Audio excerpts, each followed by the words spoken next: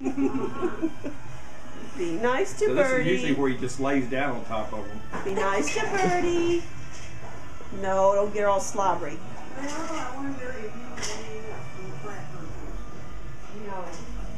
No.